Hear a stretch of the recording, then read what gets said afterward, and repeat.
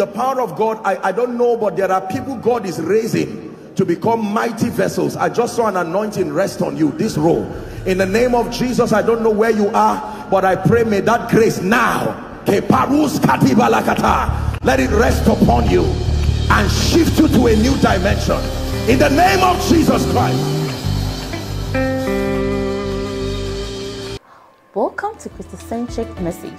On this channel, you are going to get soul-lifting messages, faith-based content, prayer drills, and videos that would help you grow spiritually. Remember to subscribe to the channel, like the video you are about to watch, and comment on it. Stay blessed. Amen. Please let's hold hands together. I'm honored to be here. I truly am. Pastor Julian and your dear wife, thank you. I honor you. Thank you so, so much. I appreciate every man, woman of God here. I want to truly appreciate my dear friend, Pastor Petro. Thank you. I love you. I love you. I truly do. Um, I believe that the Lord has brought us here. This is a convergence that will change our lives forever.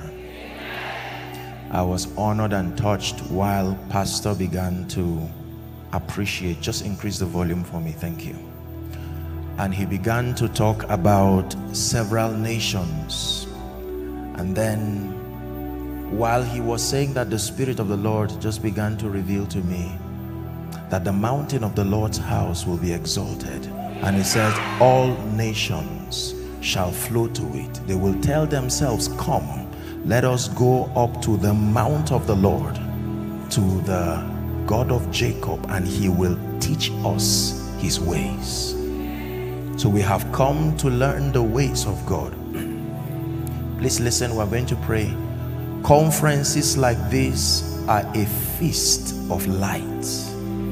It takes spiritual illumination to walk in power, to walk in dominion, and to be able to see to it that in and through our lives, the purposes of the kingdom are established. And so I want us to pay attention and to be intentional. It says the man looked expecting to receive something. Hallelujah.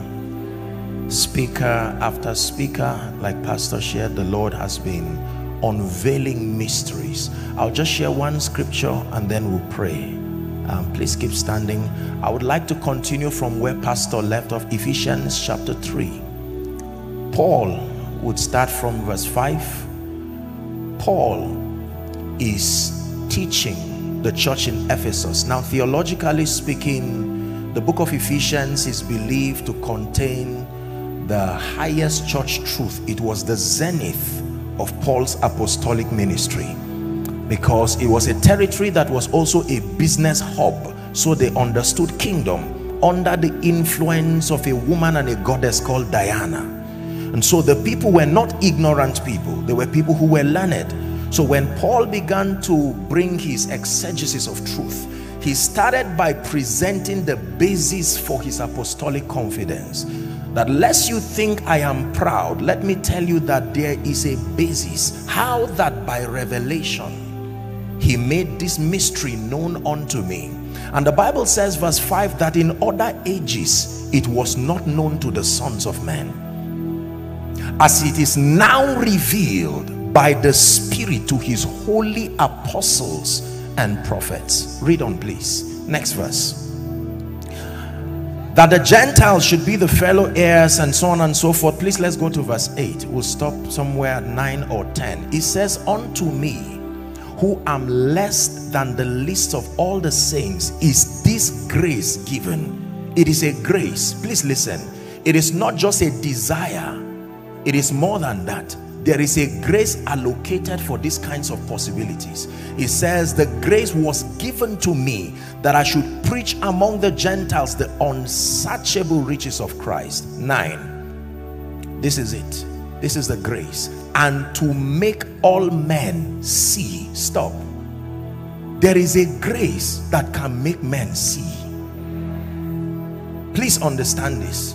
There is a grace that can help men hear but there is a grace that can make men see. It is more than utterance. It is more than oratory it's an activity of the Holy Spirit upon a man and then upon a people that when you are under the influence of that grace it causes you to see. Habakkuk said I will stand upon my watch and set myself upon the tower that I will see what the Lord will say. No shadow you won't light up mountain you won't climb up coming after me. There's no wall you won't kick down. Lie you won't tear down. Coming after me. That's how much he loves and desires you. No shadow you won't light up mountain you won't climb up. Coming after me. There's no wall you won't kick down, lie you won't tear down, coming after me. Ephesians chapter 4 and verse 18. Please be patient, we'll sit shortly. Paul was still talking to the church in Ephesus. And then he said, having their understanding darkened 418 it says being alienated from the life of God. So the problem is understanding that when a man's understanding is darkened he can be alienated from the potential that the reality of the life of God brings. And then he says because of the ignorance that is in them. Lift your voice and pray. Light oh God light Open my eyes. Kenya, there are people of prayer in this place. Can you lift your voice and let's pray?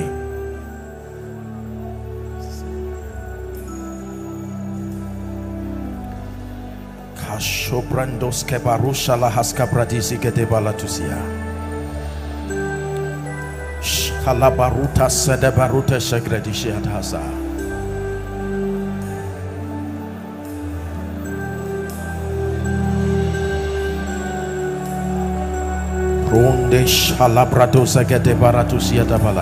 Open our eyes, oh God. In the name of Jesus Christ. Praise the Lord. Please be seated. Thank you again and again. Um, I truly honor your pastor for many things. Among them, is the keenness of his understanding as far as the strategic nature of kingdom advance is concerned. You know, one of the things that has plagued the body of Christ for many years is that we have zeal and we have the fortitude to press into spiritual things. But the spiritual intelligence allocated for an effective um,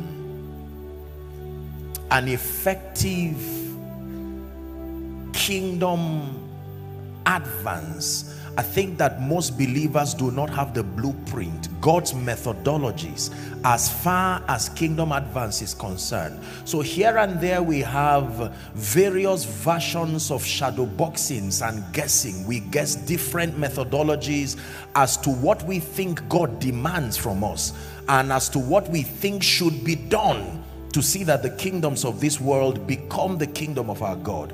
And so we have all kinds of formula, all kinds of strategies we continue to invent. And it's very clear that many of them have either failed or have been ineffective in revealing the reality of the life, the culture, the grace of Christ. And so this conference seeks to be able to synergize our understanding, to bring us to a point where we not only know God and we not only understand his ways, but the strategies for kingdom advance is given to us. If we lose that understanding, then we did not benefit from the conference. Hallelujah. Praise the Lord. And this will demand many things from us. Number one is the ability to allow the intelligence of the spirit rise above our intellect rise above our experiences oftentimes when the word of god is about to come like this we filter the word of god from the lens of our experiences we filter the word of god from the lens of our intellectual prowess which is which is good except for the fact that spiritual things can only be spiritually discerned are we together now? So in as much as our intelligence is fruitful and there's a place for it, um, but when it has to do with the communication of the spirit we must be able to trust the speakings of God above and beyond our intellect. There is a realm in the dealing of God where both the learned and the unlearned have to submit to the Holy Spirit so that we do not fall victims of interpreting spiritual things from the lens of our education from our understanding. Now don't get me wrong i don't insult all these bodies of knowledge but i am saying that because the wisdom of god comes from above it comes from a dimension that will require this understanding that it is true that I have understanding but it says do not lean on your own understanding. We have to tap into a dimension of wisdom that is higher than what we have known. Are we together? Isaiah chapter 29 we won't be long for this session. This is I'm just starting with us. So just to establish something uh, building on what the great servants of God men and women of God have done in this place. Isaiah 29 and then verse 10 and 11 let me show you a scripture that changed my life.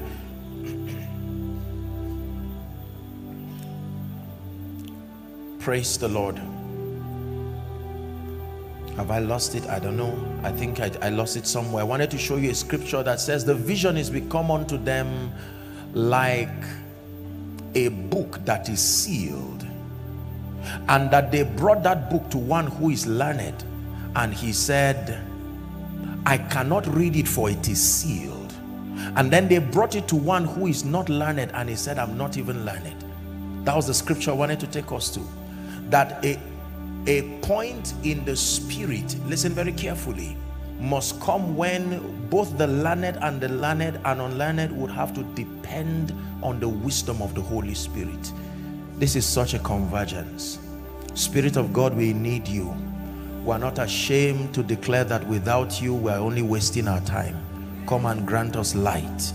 You are the light of God. We receive that illumination in the name of Jesus. Hallelujah. Acts chapter 1 when Jesus walked upon the earth the ministry of Jesus is very interesting because remember that Jesus came as a revelation of the Father's intent. The Bible calls him the Logos of God. The Logos means the thoughts of God seeking expression. So Jesus came as a correction of our perception about the Father until Jesus came, there were many things about God we were not clear of because we had to depend on the revelations of prophets and they were limited themselves. So there were many things that were attributed to God that was not God. There were many things that they robbed God of that was God. So Jesus came as a correction so that by looking at his life we would compare and contrast. Are we together now? the Bible calls him the, the image of the invisible God. So when he walked upon the earth, he began to introduce to us a kingdom. It's amazing that Jesus did not just come to introduce to us an agenda. He brought the kingdom. He began to teach in what we call his, beatitudes. And then he began to mentor the believers or the individuals who would later become the apostles of the Lamb alongside all those who cared to listen. He began to show them that there was a kingdom. Please say kingdom very important. The very foundation of the teachings of Jesus was not even just um, salvation from dead works as it were. He began to introduce them to the reality of a kingdom and then he let them know that this kingdom um, is not within this sphere alone and that there is a Lord over that kingdom and began to culture the people to show them the ways the methodologies of the kingdom. Are we together now and when Jesus died and resurrected, he left the disciples now who would soon become apostles with a mandate. Acts chapter 1 please. Let's start from verse 7 now i hope you know that prophecy the jews already had prophecy that one day there will be a restoration of all things are we together that they would be restored as a nation and so when they saw the invincibility of the ministry of Jesus, they perceived and thought he was the one who would dethrone Caesar and Herod. Are we together? He would be the deliverer. So they anticipated. That was the reason why the disciples kept um, falling for the propositions of Jesus because they hoped that one day he would dethrone Caesar, dethrone Herod. That was why James and John connived with their mother remember to begin to lobby positions for them in advance because they saw the way Jesus was going and they believed that he would conquer Caesar so when Jesus gave himself to be killed it was a shock and a disappointment they left their fishing, they left their professions to follow a man who they believed would be their hero, who would one day be king in the earth here. And then as a reward, they would have the privilege of occupying different cabinets. And now Jesus is giving himself to die, leaving them in trouble. That's why when he said, I'm going, they said, you're not going anywhere you've caused trouble within a territory and you want to go it was not compassion they were not missing him they knew they were already in trouble are we together now? And Jesus said, it is expedient that I go. Whilst you are afraid of what will happen in the earth realm, there is an agenda that is bigger than this. There is one who is coming. He will be a continuation of what I am now to you. They, they didn't understand and they were not interested at all. So when Jesus died, they ran away. Are we together now? Yes. And um, Jesus is back to life and then John 21 gives us the account. Peter looks at his colleagues and says, I go a fishing. Then they said, we go with you. And while they began to fish, they couldn't catch anything. Jesus stands by the seashore and says, little children, have you any catch? And then Peter, recognizing it was Jesus, he washed his net and came to him. And while they sat to eat, he said, Simon Barjona, lovest thou me? More than this. Then he said feed my lamb feed my sheep. And after all of that conversation the bible now takes us to the book of acts where when jesus resurrected for a period of 40 days he called on isn't it amazing how purposeful jesus is? I mean who would resurrect from the dead and go back to a lecture hall you resurrect from the dead and go to a media house. Everybody finally i came back to life. And jesus said there's no time for that. In 50 days the earth is about to change. Something is coming. Guys i did not finish the lecture before my death. Now that i'm back there's no time for celebration. Come together. I need to teach you. There are things i would show you and i have 40 days left. The bible says he mentored them on the matters of the kingdom. Are we together? Hmm. So when we get to verse 7 he makes a statement acts chapter 1 and verse 7 the disciples were interested in this. Will you at this point restore the nation of israel? And he said it is not for you to know the times or the seasons that the father has put within his authority. Then verse 8 is where i want to build on. It says but you shall receive power if we can just have King James after that the Holy Ghost is come upon you.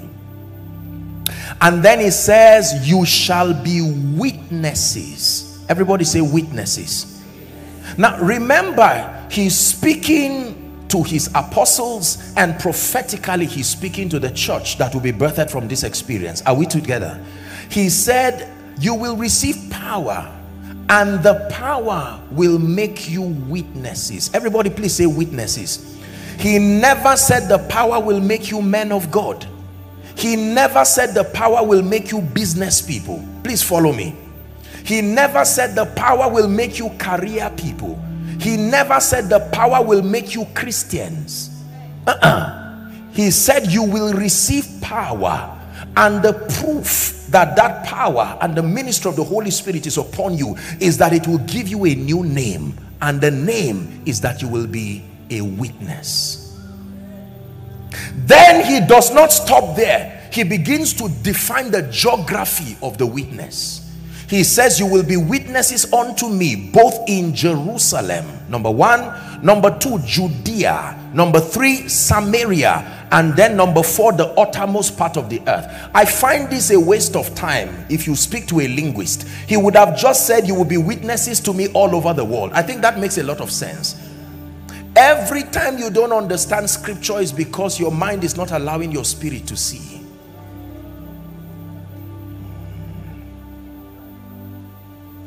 you will be witnesses so we're, we're working with this scripture now jesus is speaking to the people in 10 days he's about to leave. And 10 days after the spirit will be coming upon them. And he's saying you will receive power when the holy ghost comes upon you.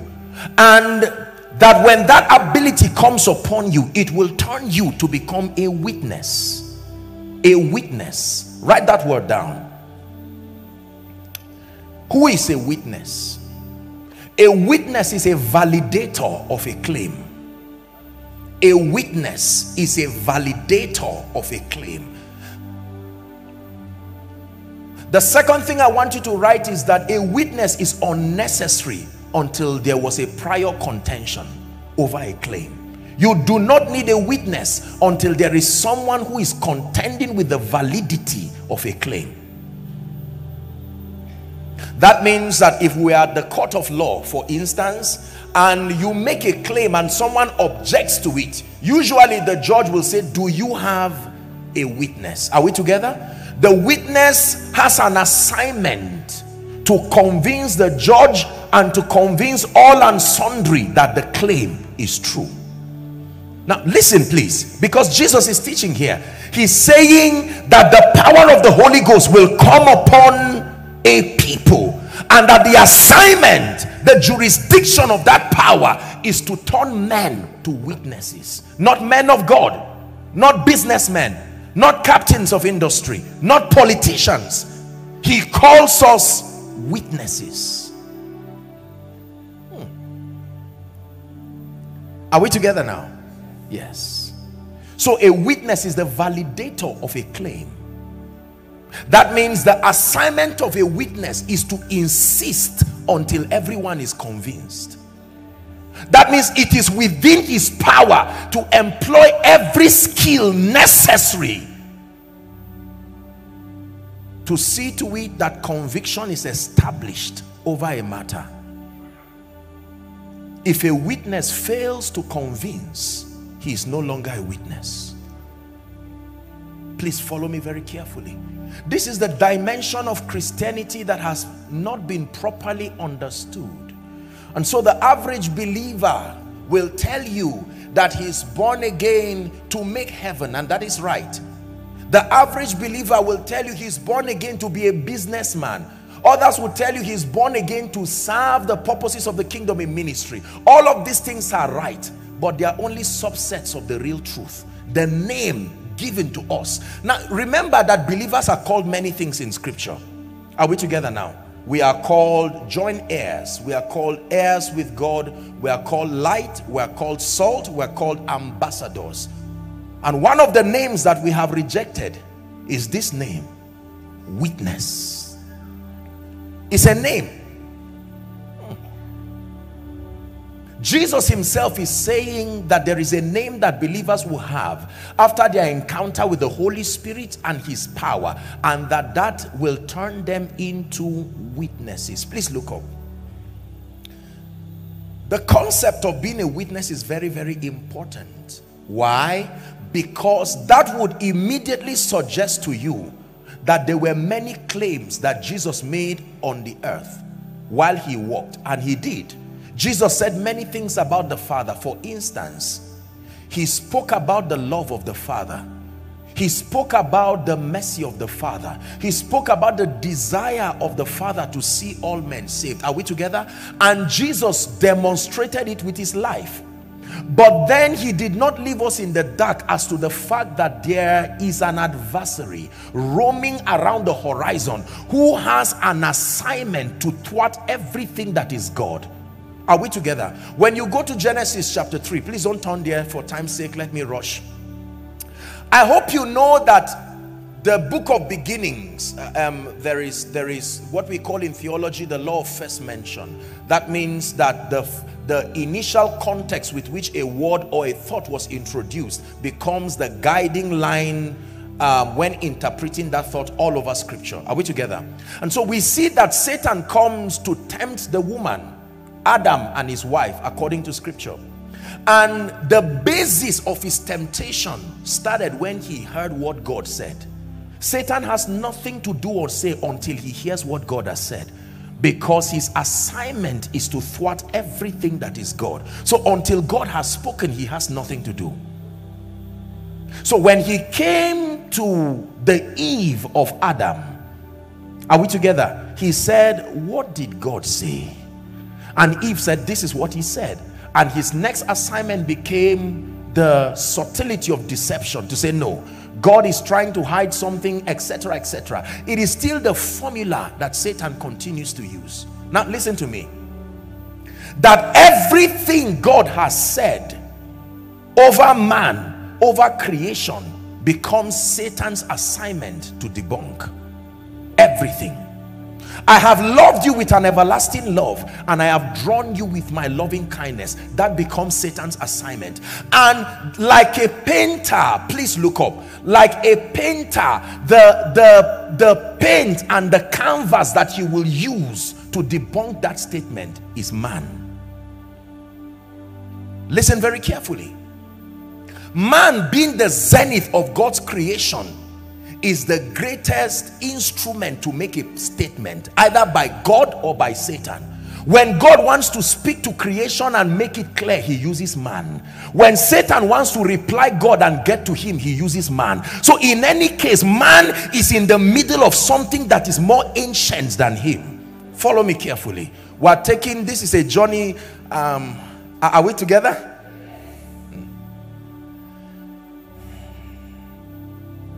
man the epicenter of God's desire man the pursuit of Satan Satan continues to pursue man because God wants man.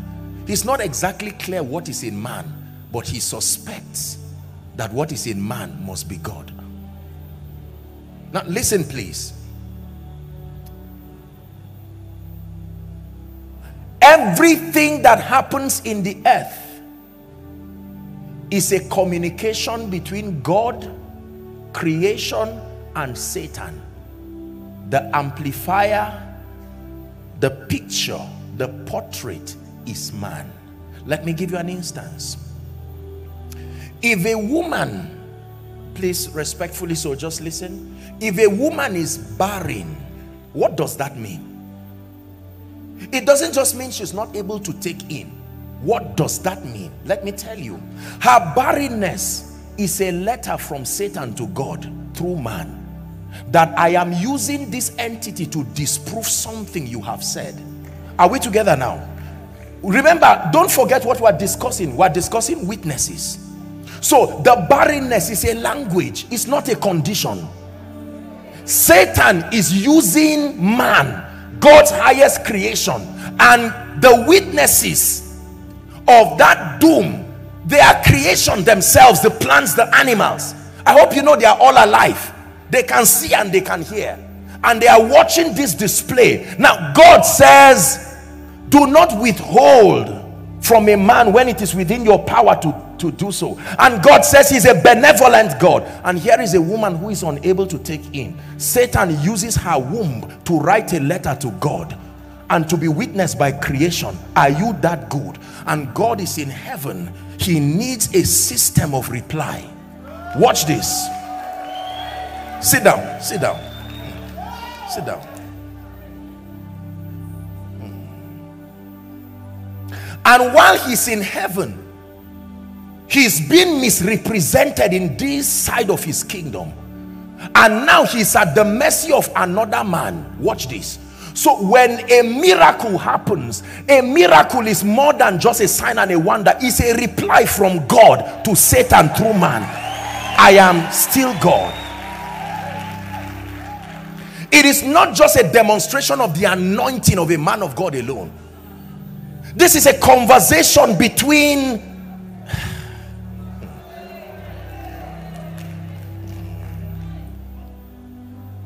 if you are unable to pay the fees of your children it is not a condition it is a language. Satan is using you and using your inability to demonstrate fatherhood. Are we together now? And to spite god and his integrity. So when a conference like this opens you up to the methodologies of the kingdom that makes for your blessing is more than just a money mongering pursuit it's a reply from god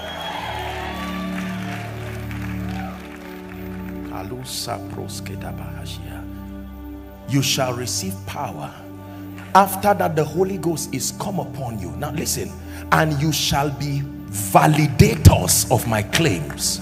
That everything I said there is an enemy in the horizon attempting to misrepresent all that I am and I am depending on you to show up and validate every claim now listen very carefully. Do, do, are we following so far? Witnesses. Witnesses. John chapter 1 and verse 6 the primary revelation is not your being a man of God. The primary revelation is not your being a businessman. The primary revelation is not your being a politician. No all those things only come in when the geography of your witness is defined. John chapter 1 verse 6 there was a man sent from God. Look up. He was a man sent from this is the mystery that the men you see are not born they are sent. Watch this we don't we believe angels are sent. Is that true? We believe spirits are sent but we do not believe men are sent. There was a man sent from God. When he arrived the earth he had to be given a name. So the disguise was John. But the man was not John. He was given an earthly name Oh, come on, please. Kenya, Kenya, are we together? Verse 7. The man came for a, he was not a prophet. You called him a prophet. The Bible does not say he was a prophet.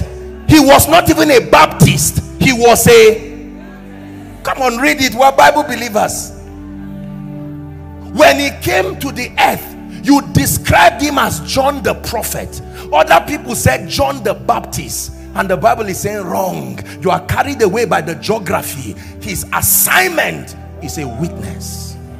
He came for a witness to bear witness to the light that through his witness men might believe so you called her a business mogul. She's not a business mogul. She's a woman sent. When she arrived the earth she came through Kenya. And just because you called her Pastor Amanda you can think that oh she's just no no no no no. Men forget about the earthly names. It's a disguise. Let's sit down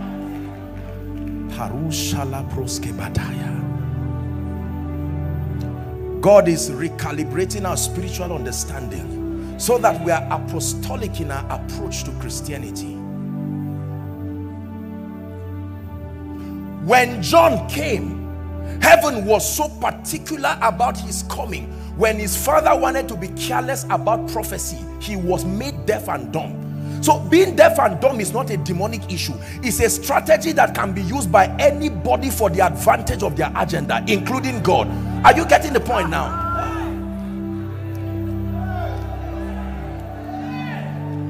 Let's pray in the spirit in one minute. Let's let's pray. Let's pray. We have to we have to ask God to assist us. This shalaprako sadibaratu sidekata. Pado jalaprondaske baratusia the eyes of our understanding being enlightened that we may know we may know we may know Please sit down.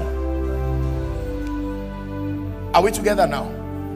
It was not Satan that made Zechariah deaf and dumb. It was a strategy to keep him silent because the anointing was on him and his speech could corrupt the program of God. So he was quiet till he agreed with God. So some things you may be calling delay, it may not all be demonic. It's because you have not heard a message that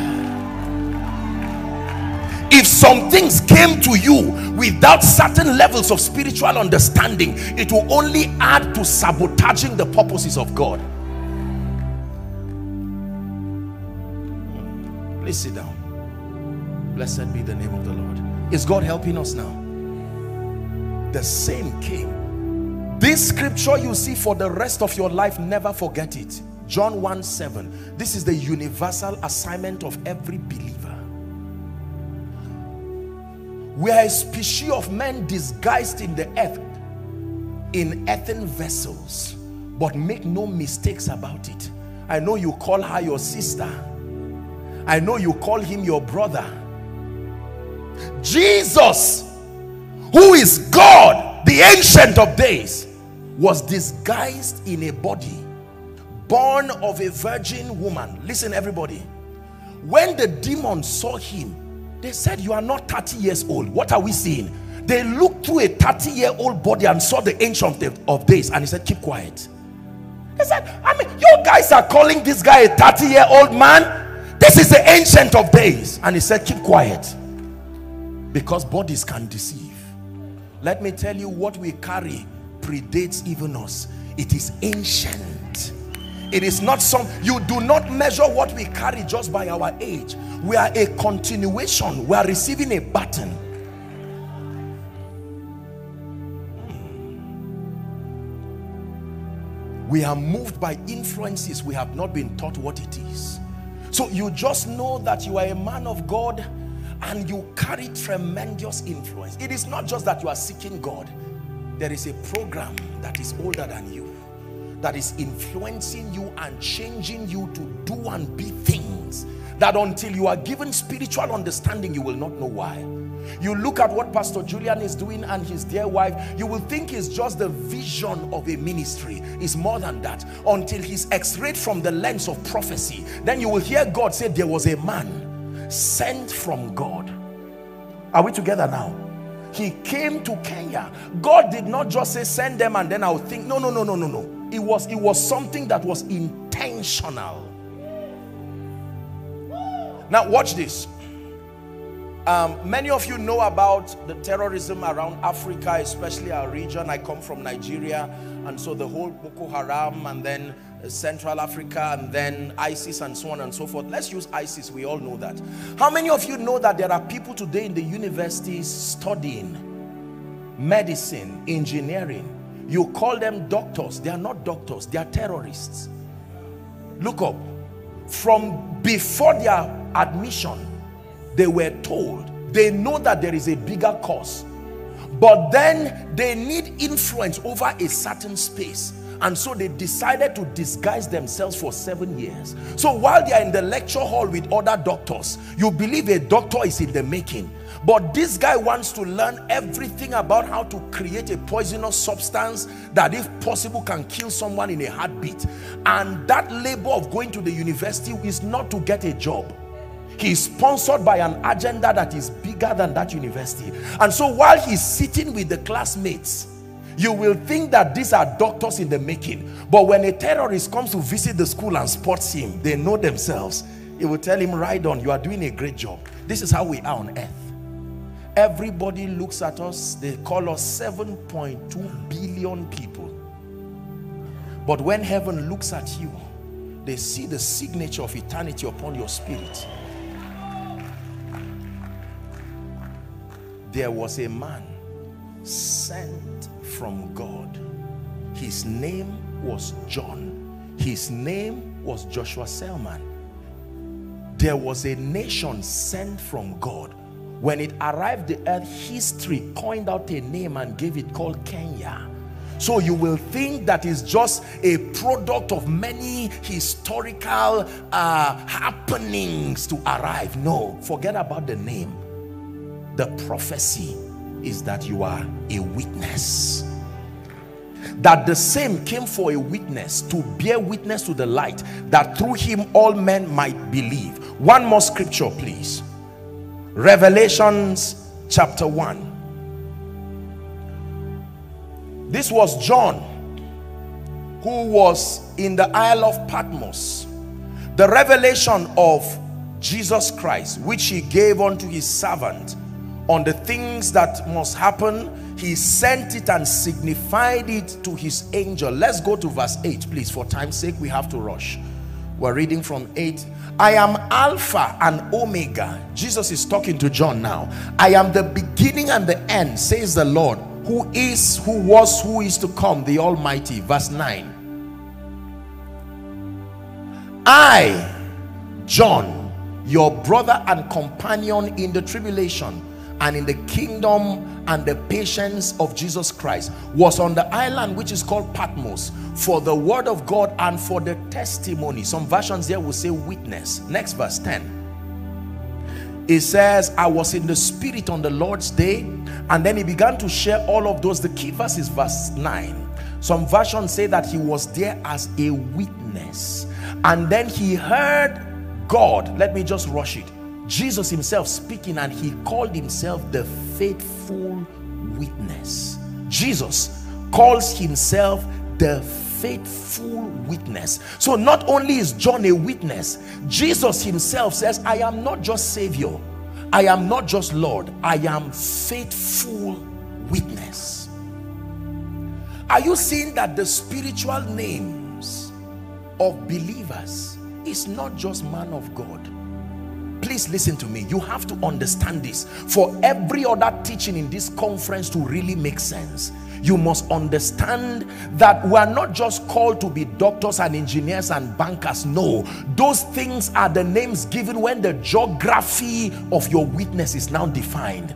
But that your assignment is to be the validator of a claim. The validator of a claim.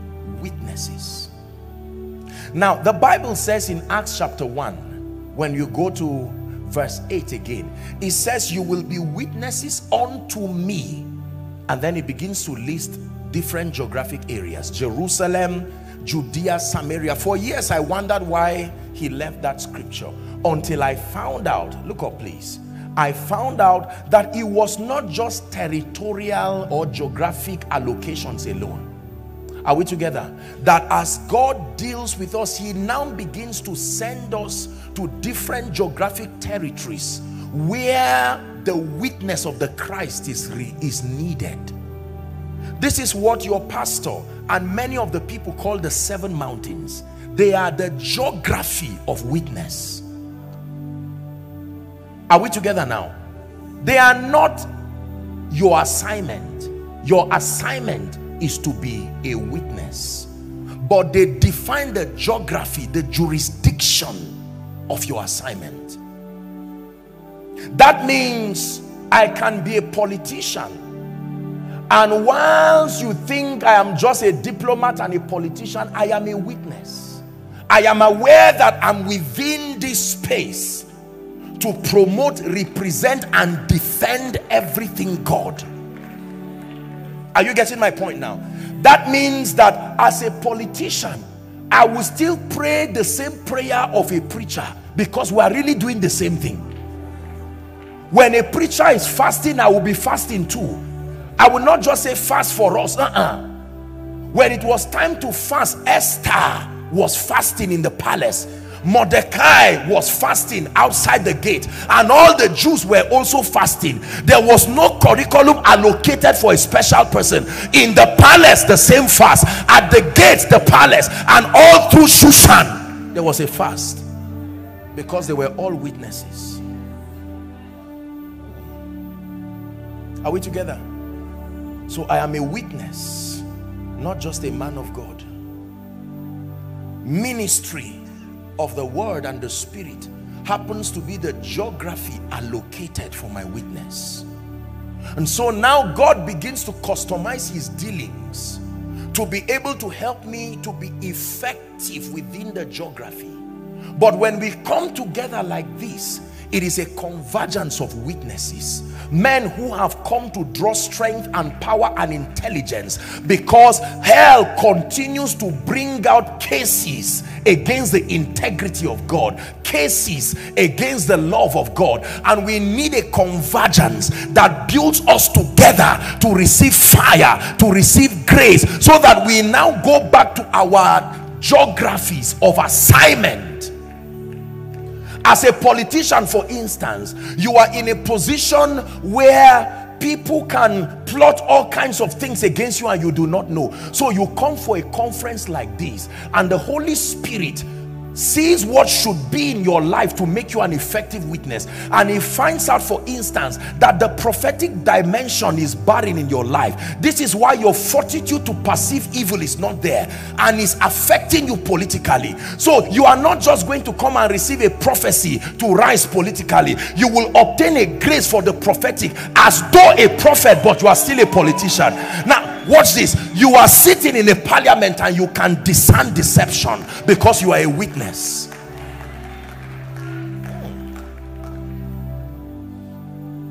The training that Daniel had in Babylon was the training that you would give a man of God not a politician. But there was no mention of ministry. He used that training for politics purely.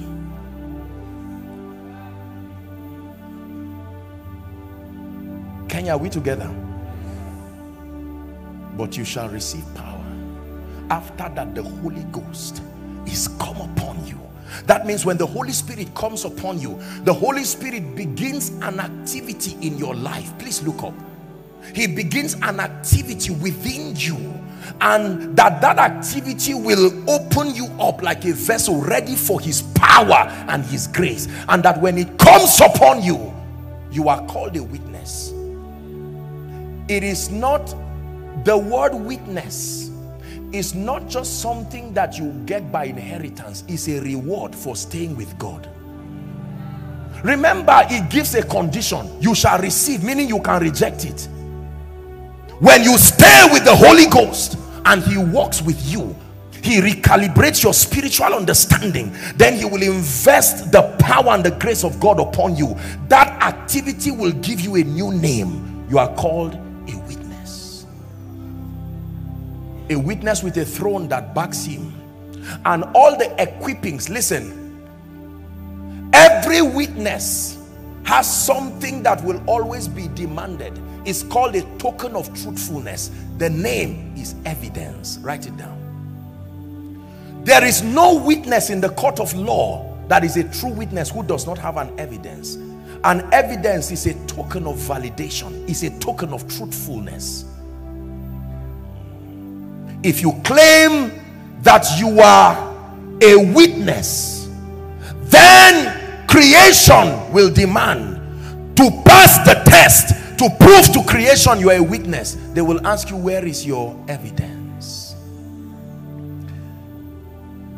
If I tell pastor how long have you been with your dear wife? And we run a test here we will tell him pastor we are going to test you we will not just take it that this is your wife. You will need to give us some evidences.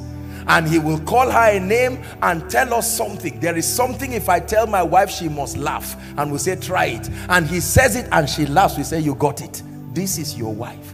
When people lose money or lose properties they say come with proof of ownership come with an evidence. So you don't just show up and say creation hear me i'm born again. They say many have come like you. If you are a witness where is your evidence? Kenya i come as a man of god. I had an encounter in the secret place. They say nonsense. That is your experience. What is the evidence? God called me to be a businessman and liberate the economy of Africa. Stories. What is your evidence?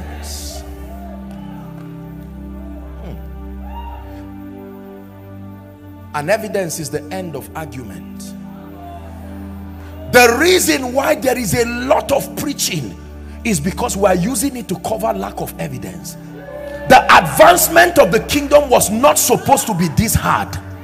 It is our lack of substantiating the truth.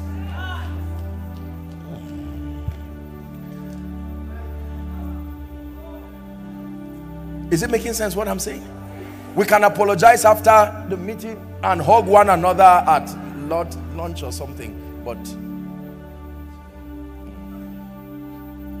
what makes you think members should come to your church just because you said you are called? No. What makes you think clients should come to your business just because you have a product? 7.2 billion? No you need evidence. There has to be a token of truthfulness that will compel all and sundry. He said rabbi john 3 verse 1 we know that thou art a man sent from god for no man can do these things except god be with him. We know forget all the noise we make in the day nicodemus was saying we know you have to be a man sent from god. We have seen the tokens we have seen you demonstrate possibilities that is not affordable within the world of men. Time will fail me hebrew says to talk of gideon and jephthah and barak men who through faith subdued kingdoms wrought righteousness shut the mouth of lions women who received their dead back to life. Hmm. the evidence is what creation is waiting for Romans chapter 8 from verse 18 I reckon Paul is talking to the church in Rome. I reckon means I come to terms with this fact that the sufferings of this present time he says is not worthy to be compared to the glory that shall be revealed in us. 19 says for the earnest expectation of creation awaited not the explanation not the excuses but the manifestation of the sons of God now listen very carefully. The next verse says for creation this is the case we are to correct that creation was made subject to vanity. Is the word corruption. Not willingly but by reason of him who subjected the same in hope 21 it says 21 please give it to us. For we know that it says because creation will be delivered from the bondage of corruption into the glorious liberty of the children of God. That means there is a case. Creation is crying and say, where are they? We keep hearing prophetically that there are a people who are a representation of the life, the power, the grace, the kingdom of God. We didn't see them in the sermons. We didn't see them in the business exposés. Where are they? And if they are here, where is the the token of truthfulness. Where is the evidence? When jesus in luke chapter 4 when you read from verse 14 the bible says he stood up for to read the prophecy of isaiah. He was reading the messianic prophecy of isaiah 60 61 and the bible says when he began to read this is what he said the spirit of the lord is upon me because because not for nothing because he hath anointed me to preach glad tidings to the meek are we together? He had sent me. Remember, we are sent to bind up the brokenhearted, to set the captives free, to declare the year of God's uh, acceptable year of the Lord and his year of vengeance. Then he closed it and said, This day, this day, there remaineth a rest for the people of God. But a man shows up and say, I make it today, this day. Is this scripture fulfilled in your ears and they were looking at him. He spotted a man with a withered hand and said let me show you I am the evidence a revelation of God. Stretch forth your hand. Listen to me. Let me tell you our civilization now is a civilization of proofs and intelligence.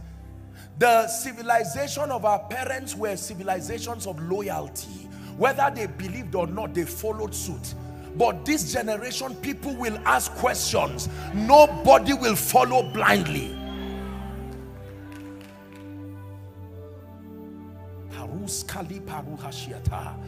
Hmm. If you said he put an anointing for wealth, where is it? Where is the evidence? it is true that things take time but forever is failure the end of faith is a manifestation when you plant you are patient for one year. Is it is it not so? God brought us here to shake us in this conference from head to toe and put something upon our lives. The talking is too much. Too much. Too much too much of talking. God can do this. Too much of writing books. God has done this. Too much of this. God can change your life. I'm not being sarcastic. When you follow me you know i love the body of christ. I'm sent to the body. I do not speak in any way to resent, it is to challenge. The bride that will make the husband proud is not Vashti. Vashti has failed. Esther, where are you? Ahasuerus is searching for his bride. And hear me, the condition to be Ahasuerus' bride is not beauty. Is you must stay with Hegai for one year and rub the ointment Hegai gave Esther an ointment to rub non-stop for one year. Listen to what I tell you, my brothers and my sisters. I came here with an apostolic and a prophetic voice. God is shifting people. Please give me volume, sir. Listen to what I tell you. Enough of stories. I sense the anointing of the Holy Ghost here now. Please listen. I will not take our time this morning. Just play class the cymbal for me, please. My friend.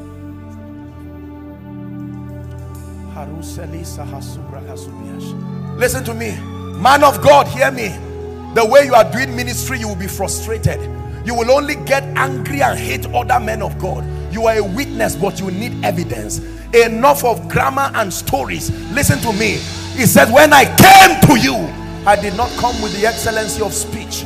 The exegesis of truth must be backed up by power from heaven you are a businessman listen when you speak and it happens then men will listen to you and believe you the Lord is doing something prophetic in this Ruach conference it's a conference of the Spirit of God please listen to me very carefully I'm about to pray for you this morning. We are going to have extended sessions alongside all the servants of God. But you must be tired of where you are and say lord i'm tired of stories. I'm currently writing a book now whose results i cannot prove in my life. I'm about to start a tv program whose convictions i'm not even sure of. It is not difficult to exalt the christ within a territory when there are witnesses our fathers who have come and left they came as witnesses not men of god.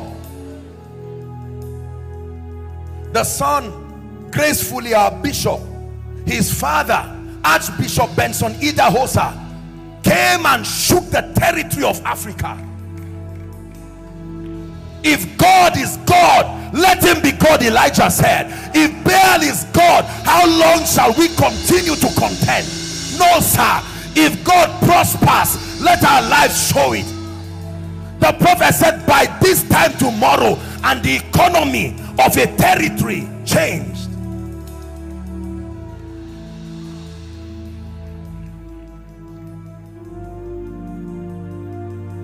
And we will never settle for less. We know there's more that's found in you.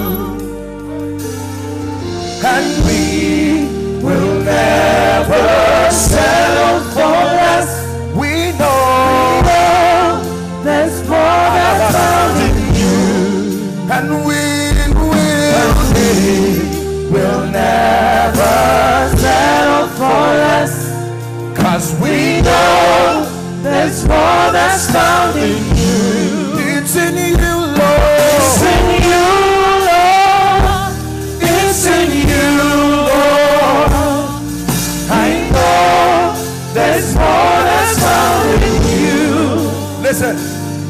Generation that must bring the kind of demonstration of the reality of the life of Christ. The reality not by preaching not by healing by being witnesses in all the spheres. Joel said blow the trumpet in Zion. Sound the alarm upon my holy mountain. And he begins to talk about a generation of men terrible and great before them is as a garden of eden. Behind them a desolate wilderness.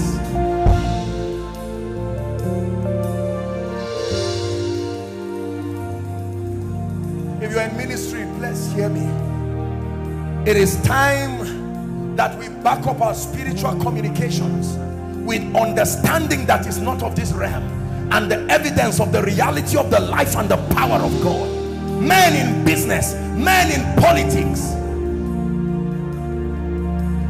let God be true in Kenya. Let God be true at this conference. And that every man be a liar. Hallelujah. Now I'm not going to take our time this morning but while I just stood here I saw eagles. Now every time the Lord shows me eagles is the spirit of revelation. And I saw the number 10 that grace is coming on someone now. Please bring them out. Bring them out right now if there are ushers please just bring them here. I want to pray for you. Shilas Kobradisia please bring them out if there are ushers. The spirit of revelation. Is giving the eyes that see. Insight illumination into scripture. And we will never settle for less. Shema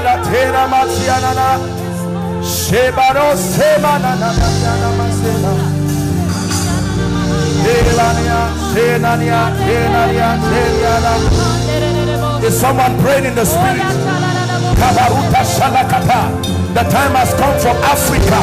Awake thou that sleepest and Christ will give you light please bring them out. Paroto Shoparata Embrekete Lekotoshiata a dimension that God is bringing in Ruach conference where men and women must step into levels in the spirit. It's not just a conference to be excited it's an impartation of spiritual possibilities shifting you from one dimension in the spirit even to the other. It says now the lord is that spirit and where the spirit of the lord is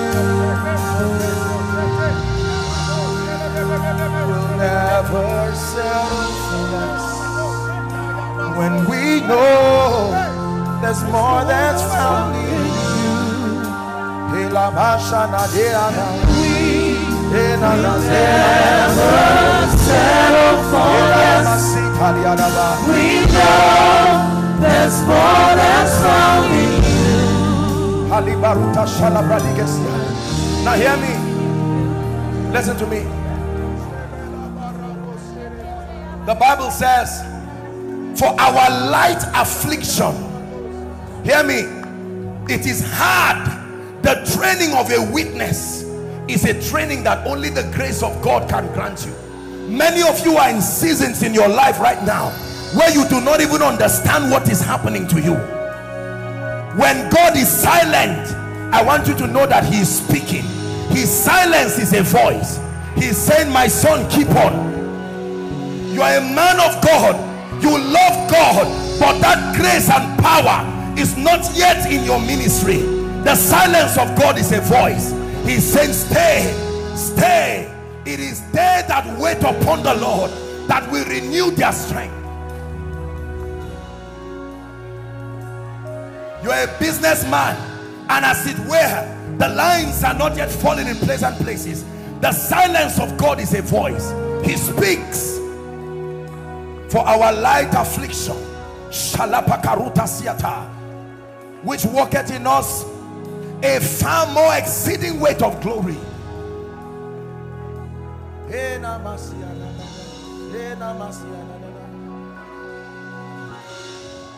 I came to show you there was a woman from God who passed through a family as the fifth born in Kenya.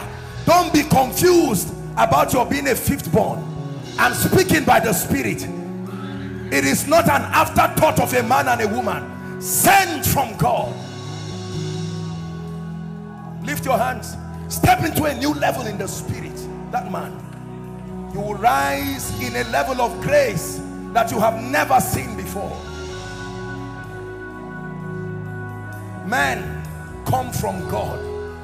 Men don't come from wombs. Men are framed in wombs. They come from God. They carry ancient possibilities. Where you are right now, all over, please lift your voice in one minute. Raise a cry to heaven. Lord, I'm available. It's time to be a witness. Whether you are a businessman, a worshiper, a man and woman in ministry, a media expert, an IT expert, pray like a man of God.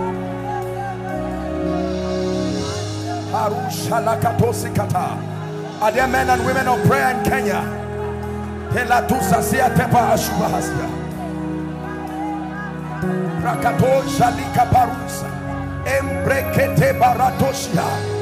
There was a man sent from God. His name is John. The same came for a witness of the light that through his witness men might believe. Hallelujah. Listen to me. Let me use one person here just to make an illustration. Any one of you, please come. Two of you, sir, you can come to watch this. Never forget this example. This is God. This is Satan. This is man. God speaks through man. I love you. Satan afflicts man. You lied. A miracle happens to man as a reply. So God is searching for men. A body has thou prepared. Hear me Kenya. God is not searching for restaurants and malls. He's searching for men. Men that when I talk about the wealth he says go up the mountain bring wood bring me a house. You don't find wood up the mountain you find wood in a forest. So when it says go up the mountain climb the system enter the system bring wood from that wood build me a house that I will be glorified.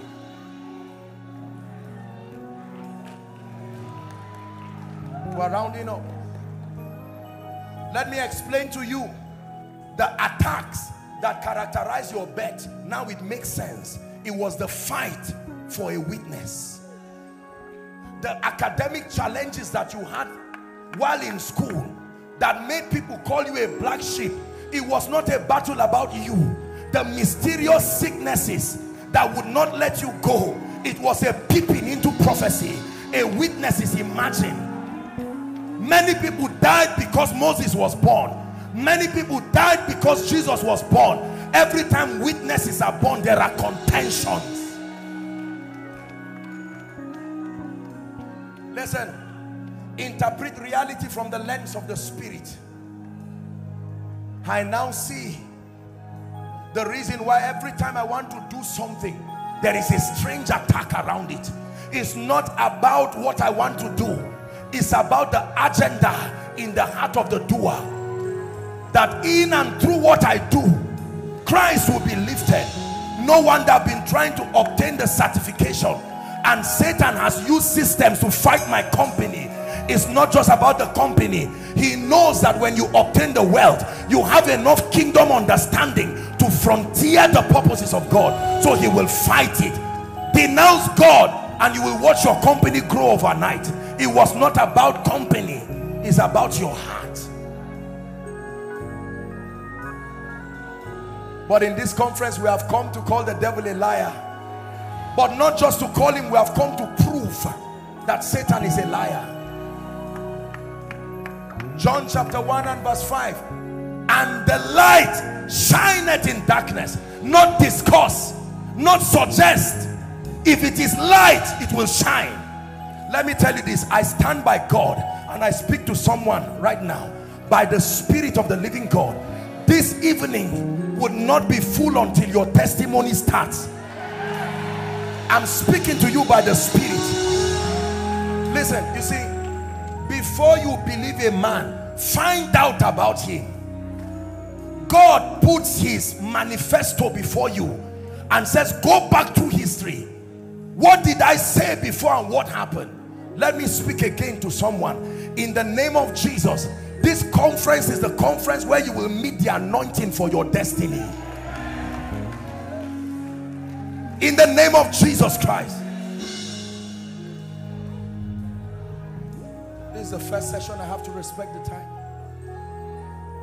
But there is a call. Once you just say I am a businessman you will cheat yourself from all of the, the positionings that will make you an effective witness. Once you listen do you know that a woman's ministry can be to give birth? That's it. Not to preach to give birth. An example Mary. Another example my mother that a woman's ministry on earth can finish in nine months. And Satan will fight that womb because of what is coming out from it. So now you now see why the devil tries to put barrenness. You now see why Satan tries to put high blood pressure. It's not about sickness and healing. It's about a statement to thwart God's purposes. But let God be true Kenya and let Satan let the devil alone be a liar. Please listen to me. Do not miss any part of this conference. Whatever it will take to call anybody around Kenya this is not a church thing. This is God coming to his people. Are we together now? Every time God wants to touch Israel he does not call Israel he calls Jacob. And when he calls Jacob the word he has put on Jacob is always for Israel. It was only one man that saw the burning bush. The rest did not need to climb up. They just needed to look at the man who had seen the burning bush to have the same experience. There is fire burning here at Ruach conference and it's important for you to let everybody this is not some church invitation no. Some of you know a preacher who has been fasting and praying. Tell them your prayer has been answered. Come come and take something solid. Come and receive a grace. You are a business person. Come and receive a grace. When the Lord turned again the captivity of Zion he said so even Zion can be under captivity although she is the Zion of God. He said we were like them that dream and they said among the hidden the Lord had done great things for them. He says the Lord has done great things for us whereof we are glad. Then he says turn again our captivity like the streams of the south the Negev. God is able to turn the lives of people. I pray for you in the name of Jesus. Let a hunger from this morning conference a hunger for spiritual things a hunger for accurate spiritual understanding a hunger for true apostolic Christianity may it come upon you right now. In the name of Jesus Christ. And like I prophesied I agree with you. By evening many of you will return with strange testimonies as tokens of the hand of God. In the name of Jesus we activate the angelic on this prophecy. We bring a spiritual climate. I speak to the two leaf gates of Kenya. I speak by the spirit that in honor of this conference and in the name of the God of Jeshurun, the one who rides upon the wings of the wind, let there be strange angelic activities within the city. Strange miracles, encounters, restorations in the name of Jesus. Listen, as soon as Saul set his eyes on Samuel, the donkey started going back home. He, he did not ask the donkey to go back there are possibilities that happen because of the spiritual climate created. Lift your voice everyone and pray in one minute. It must be for me as spoken by the word of the Lord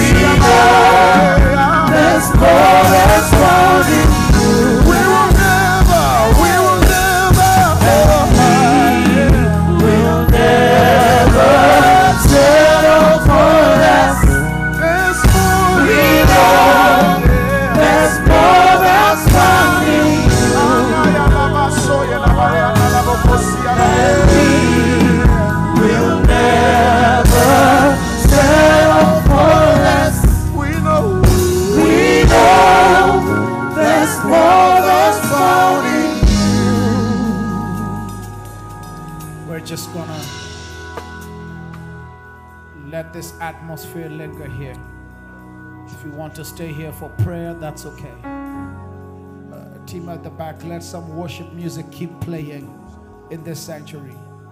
Please avoid unnecessary interruption of the altar throughout the rest of today. Only do what's necessary here, but for this great atmosphere that's here, once the team and the band sets down, just leave some worship playing and let this atmosphere stay here so that people can stay on in this atmosphere. We will be back. We'll be back here for four o'clock to begin worship. If you want to stay, you can stay and just enjoy the atmosphere of worship. Have you been blessed? Have you been blessed? I don't want to interfere with that atmosphere. God bless you. That is a word in season, and revelation is coming. We'll see you at four o'clock by God's grace. Dearly beloved, I hope you were blessed by this message. Do not keep the video to yourself. Share to as many as you can to help them bless. Check our homepage for more of our messages. Subscribe to the channel, comment on it, like it. See you on our next video. Bye. Pray, pray, pray for your destiny. Salas kade bashkana kata branda kate katos. Kete branda kata pakotos koto brekete kele kata. The phase of development. Lord, grant me the discipline